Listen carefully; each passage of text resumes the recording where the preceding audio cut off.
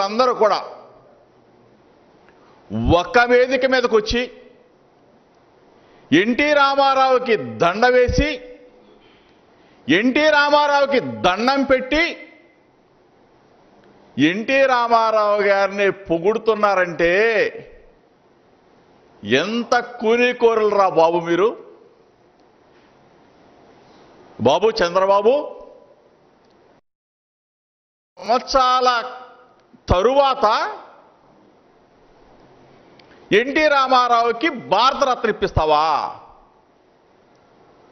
భారతరత్న ఇస్తా ఇవ్వాలని డిమాండ్ చేస్తావా?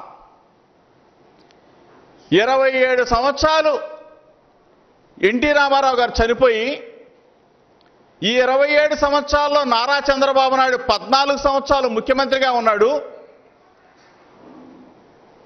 పద్నాలుగు సంవత్సరాల్లో కేంద్రంలో కూడా సంకీర్ణ ప్రభుత్వంలో ఉన్నాడు. రాష్ట్రపతి ఎన్నిక ఏనే చేశాడు? కేఎల్ నారాయణ గారిది. స్పీకర్ని ఏనే కూర్చోబెట్టాడు? ప్రధానమంత్రులను కూడా ఏనే నియమించేశాడు? కేంద్రంలో చక్రం తిప్పేశాడు ఈ మాటలు నేనల్లా స్వయంగా నారా చంద్రబాబు నాయుడు నోటి వెంట మాట్లాడిన నోటి వెంట వెలువడిన మాటలనే నేను చెప్తా ఉన్నా. చంద్రబాబు నాయుడు వినాలి. తెలుగుదేశం పార్టీ వాళ్ళు వినాలి. ఇరవై ఏడు సంవత్సరాల కాలంలో ఎన్టీ రామారావు గారు చనిపోయిన తర్వాత పద్నాలుగు సంవత్సరాల అధికారంలో ఉన్న ముఖ్యమంత్రిగా ఉన్న నారా చంద్రబాబు నాయుడు ఈ ఇరవై ఏడు సంవత్సరాలు కూడా భారతరత్న ఇవ్వాలి అన్న డిమాండ్ని. అంటే పద్నాలుగు సంవత్సరాల కాలంలో ముఖ్యమంత్రిగా ఉన్నావే. కేంద్రంలో చక్రం తిప్పావే. అప్పుడేం బీకావు? అప్పుడేం బీకావు నారా చంద్రబాబు నాయుడు? అప్పుడు నువ్వు వెలగబెట్టలేకపోయావు అప్పుడు అధికారంలో ఉన్నప్పుడు భారతరత్న ఇప్పించలేకపోయావు. ఇప్పుడు ఇరవై ఏడు సంవత్సరాల తర్వాత శత జయంతి ఉత్సవాలు. ఆ ఉత్సవాల్లో ఈ కోని కూని కోర్లందరూ కూడా ఎన్టీ రామారావు కంట భారతరత్న ఇప్పించాలంట. ఎన్టీ రామారావు కంట స్మారక చిహ్నం స్తూపం కట్టిస్తారండి ఏంటరా మీ బొంద మీరు కట్టించేది? ఎన్టీ రామారావు గారిని తడిగుడ్డలతో గొంతు కోసిన ఈ నరరూప రాక్షసులు పద్నాలుగు సంవత్సరాల కాలం ముఖ్యమంత్రిగా పనిచేసిన ఈ దుర్మార్గుడైన నారా చంద్రబాబు నాయుడు భారతరత్న ఇప్పించాలని అప్పుడు తెలీదు. ఎన్టీ రామారావు పేరు మీద స్మారక స్తూపమో చిహ్నమో నిర్మించాలని అప్పుడు తెలీదు. ఇప్పుడు వచ్చి పోటుగాళ్ళలాగా ఇక్కడ పోరంకిలోనే ఎక్కడో ప్రగల్భాలు పలుకుతూ ఉన్నాడు ఈ చంద్రబాబు నాయుడు. ఈ చంద్రబాబు నాయుడికి మళ్ళీ ఇంకొకడు వత్తాసు. ఎక్కడి నుంచో వచ్చాడు? తమిళనాడు నుంచి ఈ రజనీకాంత్ గారు. ఈ రజనీకాంత్ వచ్చి ఈ గడ్డం బాబుని ఇతనంట యంగ్ అంట ఇతన్ని ఈ రజనీకాంత్ ఇతను ఒక యంగు ఇతను ఒక యంగు. ఈ ఇతను ఈ పొగట్టం. ఏమయ్యా రజనీకాంత్? ఎన్టీ రామారావు ఆయన పదవిచ్యుతుడు అవటంలో ఆయన చనిపోవటంలో నీ పాత్ర కూడా ఉందిగా? ఆ రోజు నువ్వు కూడా కూర్చున్నావుగా చంద్రబాబు నాయుడు పక్కన? నువ్వు ఆ రామోజీరావు పక్కన కూర్చున్నావుగా? మీరందరూ కలిసే కవయ్యా కుట్రపనే కవయ్యా ఎన్టీ రామారావు గారిని పైకి పంపించింది. సిగ్గు లేకుండా ఏ ముఖం పెట్టుకొని వచ్చావురా బాబు నువ్వు? ఏ ముఖం పెట్టుకొని వచ్చావు? ఏ ముఖం పెట్టుకొని ఆ చంద్రబాబు నాయుడు పక్కన కూర్చున్నావు? ఏ ముఖం పెట్టుకొని ఎన్టీ రామారావుకి దండేశావు? ఏ ముఖం పెట్టుకొని దండం పెడుతున్నావు? వీళ్ళకు తోడు ఈ చంద్రబాబు నాయుడు ఈ రజనీకాంత్ వీళ్ళకు తోడు ఎన్టీ రామారావు కొడుకు. బాలకృష్ణ. సిగ్గులేని ఎదవ ఎరబాబు తండ్రిని చంపి ఒక పక్కనేమో మీ బావ చంపితే ఆ బావకు ఒత్తాసు పలికింది నువ్వే కదరా బాబు. నువ్వు మీ బావకు ఒత్తాసు పలికి మీ నాన్నని పైకి పంపించి మళ్ళీ ఇక్కడ విజయవాడ వచ్చి శత జయంతి ఉత్సవాలా? సిగ్గు లేదురా బాబు మీకు. ఎట్లా పుట్టారా బాబు మీ ఎన్టీ రామారావు కడుపును మీరు? సిగ్గు కొంచెం అన్నా. ఇడిసేసి ఈరోజు మళ్ళీ చంద్రబాబు నాయుడు పంచం చేరి చంద్రబాబు నాయుడు పొగట్టం. చంద్రబాబు నాయుడు ఇతనంట యంగ్ అంట ఎవరు ఈ చంద్రబాబు నాయుడు డెబ్బై మూడు సంవత్సరాలు ఇప్పుడు చంద్రబాబు నాయుడికి. మరి డెబ్బై మూడు సంవత్సరాల వయసులోనేగా ఆ ఎన్టీ రామారావు గారు పాపం ఉక్కులాగా ఉండేవాడు. సినిమాలు కూడా తీస్తామన్నాడే అటువంటి వ్యక్తినే కదా మీరు పైకి పంపించారు. ఆయన ఎంగే కదా. ఇంత దుర్మార్గంగా మీరందరూ కూడా పొట్టను పెట్టుకొని శత జయంతి ఉత్సవాలా? ఎంత ఘోరమండి మీరు. ఈరోజు ప్రజలు మీరు మాట్లాడిన మాటలు మీరు అక్కడ ఎన్టీ రామారావు గారిని ఉద్దేశించి ప్రసంగం ఏ రోజైనా సరే ఎన్టీ రామారావు గారు ఈ చంద్రబాబు నాయుడు గురించి పొగిడిన దాఖలాలు ఎప్పుడైనా ఉన్నాయా? అది ఎప్పుడైనా మీరు డిస్ప్లే చేశారా ప్లే చేశారా నిన్న? చంద్రబాబు నాయుడు నా వారసుడని కానీ బాలకృష్ణ నా వారసుడని కానీ పార్టీ వాళ్ళకి పెద్దపీట వేస్తామని కానీ ఏ రోజైనా సరే ఎక్కడైనా సరే ఎన్టీ రామారావు చెప్పారా? ఎన్టీ రామారావు గారు చెప్పిందల్లా చంద్రబాబు నాయుడు దొంగ నయవంచకుడు వెన్నుపోటుదారుడు తడిగుడ్డలతో గొంతులు కోస్తాడు ఇంకొక పెద్ద మాట మాట్లాడాడు. రాజకీయ తార్పుడుగాడు చంద్రబాబు నాయుడు.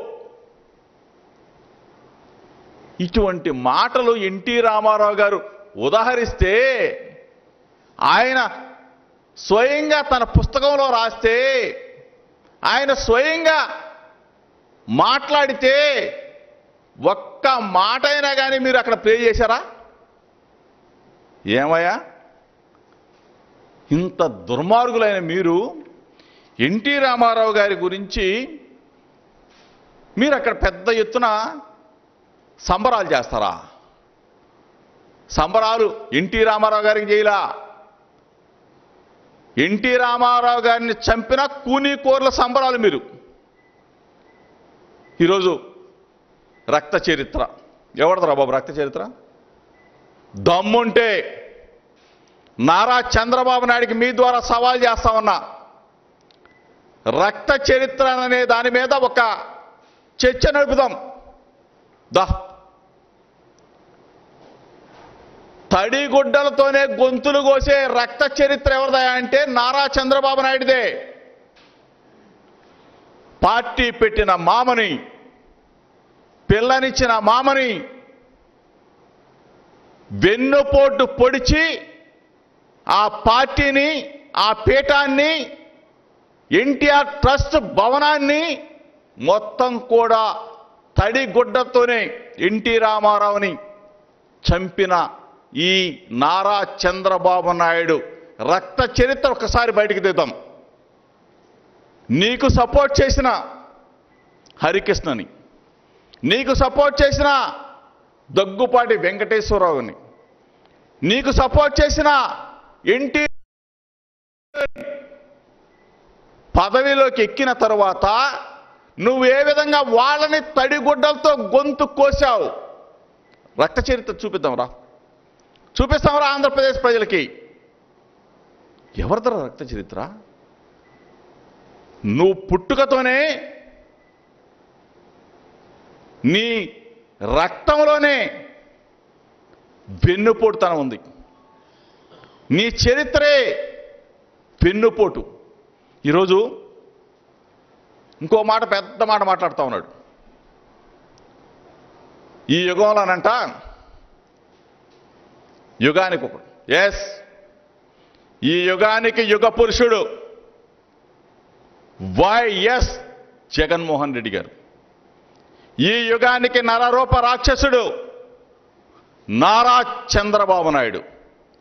ఈ యుగానికి ఒక వీరుడు ఒక ధీరుడు ఒక దీశాలి.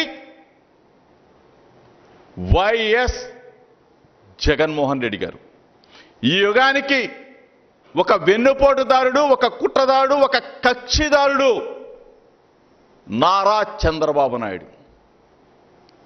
ఈ యుగానికి ఒక మనసున్న వెన్న లాంటి మంచి మనిషి వైఎస్ జగన్మోహన్ రెడ్డి గారు. ఈ యుగానికి రక్త చరిత్ర తడి గుడ్డలతో గొంతులు కోసే రక్త చరిత్ర ఉన్న వ్యక్తి నారా చంద్రబాబు నాయుడు. ఇది ఈరోజు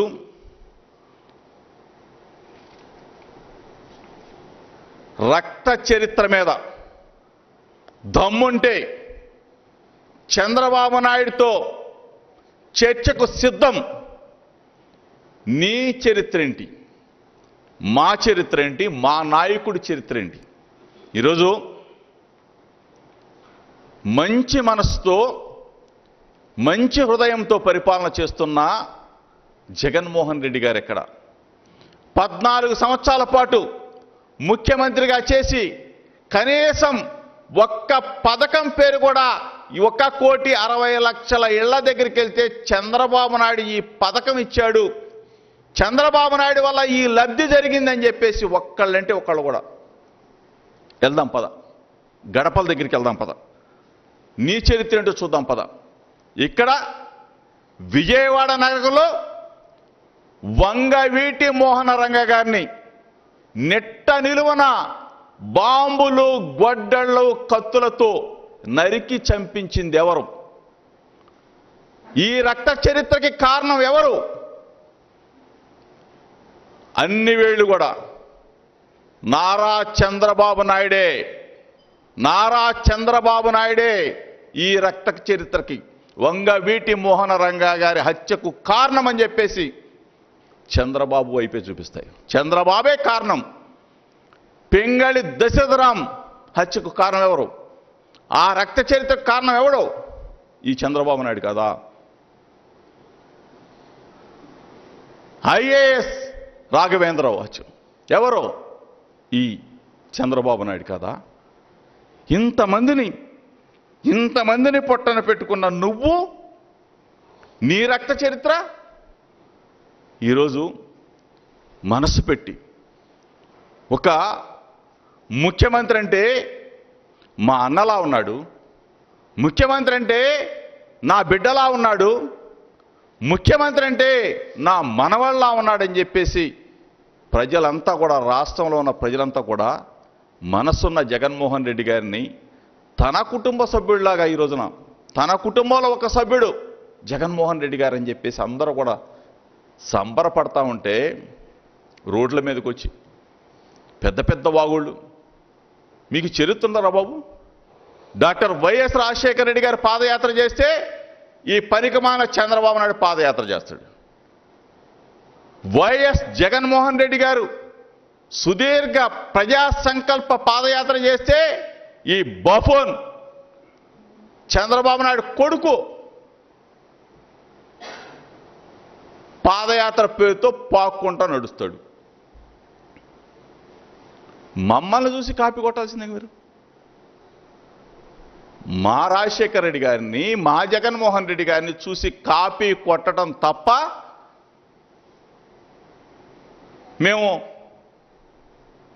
ఒక పుస్తకం వేసాం నారా చంద్రబాబు నాయుడు రక్త చరిత్ర మీద నారాసుర రక్త చరిత్ర. వేస్తే మమ్మల్ని చూసి ఇంకొక కాపీ ఈ రోజున పనికి మాలని ఎదవాలంతా జగనాస ఏందిరా బాబు? సిగ్గు శరం లేని ఎదోలు మమ్మల్ని చూసి కాపీలు కొట్టే మీరు? మా పథకాలంటే మీరు ఇస్తారు. ఏంది మీరు ఇచ్చేది? బొంద? పద్నాలుగు సంవత్సరాలు ఏమి ఇవ్వలేకపోయారే? ఏం పేకలేకపోయారే? జగన్మోహన్ రెడ్డి గారు అడుగులో మళ్ళీ మీరు కూడా అడుగు ఇస్తారా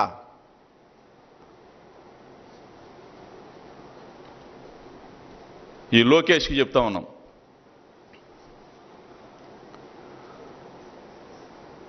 ఈరోజు ఎన్ని పిల్లి గంతులు వేసినా జగన్మోహన్ రెడ్డి గారిలాగా పాదయాత్ర చెయ్యాలని చెప్పేసి ఆయన స్టైల్లో వెళ్ళాలని చెప్పేసి ఆయన మనస్తో చేశాడు పాదయాత్ర. ఆయన చేసింది ప్రజల కష్టాలని ఆయన చూశాడు దగ్గరగా. ప్రజల బాధలు ఆవేదనలు ఆక్రోశాలు విన్నాడు. విన్నాడు కాబట్టే ఈ రోజున ఈ అభివృద్ధి సంక్షేమం. బటన్ నొక్కాడు రెండు లక్షల కోట్ల రూపాయలు ప్రజల దరికి చేరింది ప్రజల గడపకి వెళ్ళింది. ఇవన్నీ చూసి మోసపోయిన ఈ పనికి మాలిన వెధవలో పాదయాత్ర పేరుతో అక్కడ ఒక డ్రామా సెట్టింగు. వీడు వెళ్ళేసరికి ఒక కొంతమందిని పోగు చేయటం వీడు వెళ్ళేసరికి ఆ మిరపకాయలు వేయటం ఆ మిరపకాయల దగ్గర కొంతమంది తల తొట్టుకోవటం ఏంది ఈ డ్రామాలు? నిన్న ఒక డ్రామా. ఎన్ని డ్రామా సెట్టింగులు తప్ప మిమ్మల్ని పోవడానికి ఎవడన్నా వచ్చాడా? ఎక్కడి నుంచో రజనీకాంత్ పాపం ఏమీ తెలియనోడు వచ్చాడు పోవటం కాదు. వాడు కూడా పాపం మీ మీ చరిత్రలో రక్త చరిత్రలో వాడు కూడా ఒక ముద్ద ఉంది కాబట్టి వచ్చాడు. ఇక్కడ తెలుగు సినీ ఫీల్డ్లో సినీ ఇండస్ట్రీలో ఎవడన్నా వచ్చి ఈ చంద్రబాబు నాయుడిని ఎవడన్నా పొగుడతాడా? చంద్రబాబు నాయుడు ఎవడైనా కానీ ఈ ముఖాన్ని ఎవడన్నా కానీ పొగుడతాడా? ఇటువంటి కోని కోరి గురించి ఎవడన్నా మాట్లాడతాడా? తెలుగు సినీ ఇండస్ట్రీలోనే ఎవడు కూడా ఒక్కళ్ళు కూడా ఈ చంద్రబాబు చంద్రబాబు నాయుడు గురించి- గురించి తెలుసు. అసలు అక్కడ రజనీకాంత్ దాకెందుకు వీళ్ళ కుటుంబంలో ఒక హీరో ఉన్నాడు కదా రావచ్చు కదా పొగడవచ్చు కదా. ఎంత దుర్మార్గం రా బాబు మీరు అసలు మీ చరిత్ర. ఇరవై ఏడు సంవత్సరాల క్రితం చచ్చిపోయిన ఎన్టీ రామారావుని తీసుకొచ్చి మళ్ళీ అక్కడ ఒక బొమ్మ పెట్టి దండేసి దండం పెట్టి ఏందిరా ఈ డ్రామాలు ఏంటిరా ఈ కనుకట్లు ఏంటి బాబు జనానికి? ఎంత దుర్మార్గులైన మిమ్మల్ని ప్రజలు ఊరికే ఊరుకుంటారా? అందుకని మిమ్మల్ని ఇరవై మూడు సీట్లకు పరిమితం చేసింది. మళ్ళా ఎన్టీ రామారావు పేరు చెప్పుకొని ఓట్లు అడుక్కోవడానికి సిగ్గు లేదు మీద సన్నాసులు. చంపేసి ఒక పక్కన మళ్ళీ ఆ శవాన్ని తీసుకొని వచ్చి రోడ్ల మీదకి వచ్చేసి ఓట్లు అడుగుతారా? మీకు ఎంత? ప్రజలు మిమ్మల్ని ఊరికే వదిలిపెట్టరు. మిమ్మల్ని మరలా తాట తీస్తారు. చంద్రబాబు నాయుడిని చంద్రబాబు నాయుడు కొడుకుని తెలుగుదేశం పార్టీని మొత్తం కూడా తాట తీసి వదులుతారు. దుర్మార్గులు మీరు. ఈరోజు ఇంత మంచి చక్కటి పరిపాలన మనసు పెట్టి పరిపాలన ప్రజల ఆకాంక్షలకి ప్రజల అభిమానం పొందే పరిపాలన ప్రతి ఒక్క గడప కూడా ప్రతి ఒక్క గడపలో కూడా అభివృద్ధి సంక్షేమం వెల్లు విరిసే పరిపాలన. మీలాగా మా వాళ్ళే బాగుపడాలి మా పార్టీ వాళ్ళే బాగుపడాలి మా కులం వాడే బాగుపడాలి మా బంధుమిత్రులే బాగుపడాలి. ఇది కాదు. విశాల హృదయం ఉన్న ముఖ్యమంత్రి మనస్సున్న ముఖ్యమంత్రి ఈరోజు బీసీలు ఎస్సీలు ఎస్టీలు మైనార్టీలు ఓబీసీలు అందరూ కూడా బాగుండాలి. అన్ని వర్గాల ప్రజలు బాగుండాలని చెప్పేసి బ్రహ్మాండంగా అభివృద్ధి జరుగుతూ ఉంటే మీరు ఎంత ఎన్టీ రామారావు పేరుని తీసుకొచ్చి ఎన్టీ రామారావుని తీసుకొచ్చి మళ్ళీ ఆయన్ని పేరుతో ఓట్లు అడుక్కోవాలని చెప్పేసి మీరు బయలుదేరిన? ఎన్టీ రామారావు గారి అభిమానులు కూడా మీ ద్వారా చెప్తా ఉన్నా. నిజమైన ఎన్టీ రామారావు గారి అభిమానులు అయితే నిజంగా ఎన్టీ రామారావు గారిని ప్రేమించే వాళ్ళైతే ఈ చంద్రబాబు నాయుడిని ఈ లోకేష్ని. చెప్పు తీసుకొని కొట్టాలి మీరు? కొట్టాలి కూడా. ఏంటి? ఎన్టీ రామారావు గారిని పైకి పంపించడం ఏంటి? ఎన్టీ రామారావు గారు బొమ్మ పెట్టడం ఏంటి ఇక్కడ ఇరవై ఏడు సంవత్సరాల తర్వాత? ఎన్టీ రామారావు గారి బొమ్మకి పూలదండేయటం ఏంటి? ఈ చంద్రబాబు నాయుడు దండం పెట్టడం ఏంటి? ఆయన అక్కడ చంపడం ఏంటి? ఇక్కడ దండం పెట్టడం ఏంటి? ఎక్కడ? ఎక్కడికి వెళ్ళిపోతా ఉంది? నిజమైన అభిమానులు అయితే నిజంగా ఎన్టీ రామారావు గారిని ప్రేమించేవాళ్ళు అయితే వీళ్ళిద్దరు కూడా ఇప్పుడు కొట్టవసరలా. ఓటు అనే ఆయుధంతో మరలా ఎన్టీ రామారావు గారిని కించపరిచే విధంగా చేస్తున్న ఈ పనికి మాలిన చేష్టలకి ఇరవై ఏడు సంవత్సరాల తర్వాత భారతరత్న ఇప్పిస్తావా? ఇరవై ఏడు సంవత్సరాలు ఏం బీకావు చంద్రబాబు నాయుడు? ఇరవై ఏడు సంవత్సరాల తర్వాత ఎన్టీ రామారావు గారి పేరు మీద స్మారక స్తూపమో చిహ్నమో నిర్మిస్తారంట. ఇరవై ఏడు సంవత్సరాలు ఏం బీకావు? దీనికి సమాధానం. చంద్రబాబుని అడగండి. చంద్రబాబుని నిలదీయండి ఎక్కడికక్కడ. ఎన్టీ రామారావు అభిమానులందరూ కూడా. ఇరవై ఏడు సంవత్సరాల క్రితం ఎన్టీ రామారావు గారు చనిపోయారు కావయ్యా చంద్రబాబు నాయుడు. మరి మన పార్టీకి నువ్వేగా ముఖ్యమంత్రిగా ఉన్నావు? మరి నువ్వేం చేయలేకపోయావు అని చెప్పేసి నిలదీయండి ఎక్కడికక్కడ. ఆ ఆ పిల్లగాడు లోకేశాన్ని కూడా అడగండి గట్టిగా. తాత తాత అంటున్నాడు. ఏం తాత? ఎవరికి తాత? ఎక్కడ తాత? ఎట్లా తాత? అడగండి. మరి మీ తాతని మీ అయ్య మరి ఇటు చంపాడు. మరి ఇప్పుడు ఎందుకు ఇప్పుడు ఎందుకు అంటున్నాడు భారతరత్న? ఎందుకు అప్పుడు ఎందుకు ఇప్పించలేకపోయాడని చెప్పేసి నిలదీయండి. చౌకబారు మాటలు చండాలపు మాటలు చండాలపు చేష్టలు. నీ ఒళ్ళంతా కూడా రక్త చరిత్రే. నీ వయసు అంతా రక్త చరిత్రే. నీ రాజకీయ జీవితం మొత్తం కూడా రక్త చరిత్రతోనే బతుకుతా ఉన్నాడు ఈ చంద్రబాబు నాయుడు. ఈ నీచమైన చంద్రబాబు నాయుడు. ఎవడాడు? రజనీకాంత్. ఘోషిస్తుంది చంద్రబాబు నాయుడిని చూసి ఎన్టీ రామారావు ఆత్మ ఘోషిస్తుంది ఎన్టీ రామారావు గారు పయనించి ఈడు దుర్మార్గుడు ఈడు దుష్టుడు ఈడు నరరూప రాక్షసుడు ఈడు తడిగుడ్డలతోనే గొంతు కోసే వెన్నుపోటు దారుడు అని చెప్పేసి ఆయన ఆత్మ ఘోషిస్తుంది.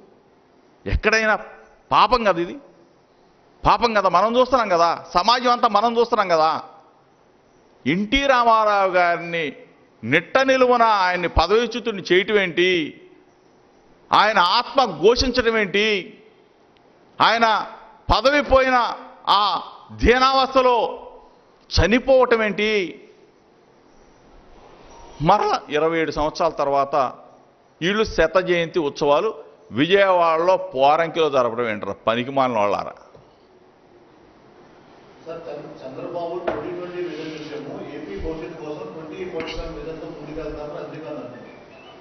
అసలు తిక్కలోళ్ళు కాకపోతే వీళ్ళు రజనీకాంత్కి డెబ్బై డెబ్బై మూడు ఉంది ఈ చంద్రబాబు నాయుడు డెబ్బై మూడు ఉంది. ట్వంటీ ఫార్టీ సెవెన్ అంటే ఎంత? ఇంకా ఇరవై నాలుగు సంవత్సరాలు. అంటే ఇరవై మూడు నుంచి నలభై ఏడు అంటే ఇరవై నాలుగు సంవత్సరాలు. అంటే డెబ్బై మూడు సంవత్సరాలు చంద్రబాబు నాయుడికి. డెబ్బై ఏడు తొంభై ఏడు సంవత్సరాలు. తొంభై ఏడు సంవత్సరాల తర్వాత ఈయన మనకు విజన్ చూపిస్తాడా? ఏం చూపిస్తాడు ఇంకా విజన్?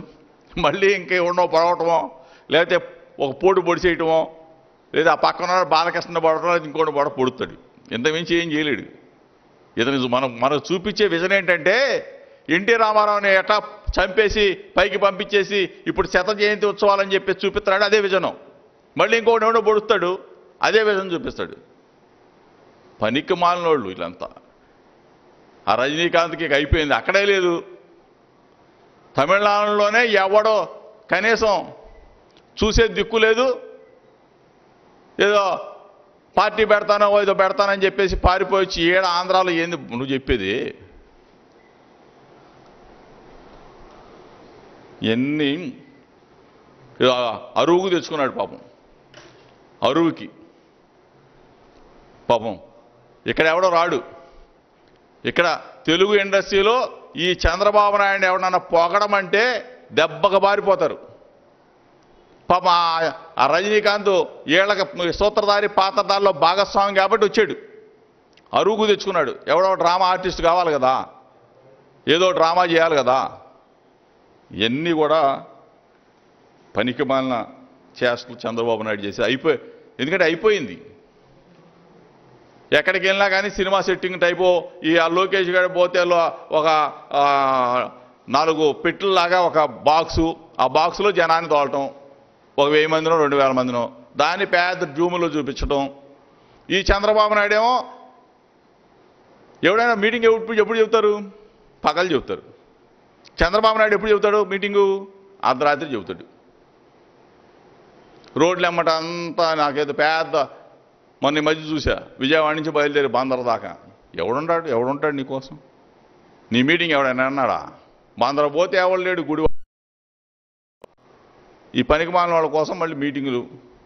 ఎవరైనా పగలు చెప్తారు పట్టపగలు మీటింగ్ చెప్తారు. అర్ధరైతులు పూట మీటింగులు చెప్పడం ఏంటి?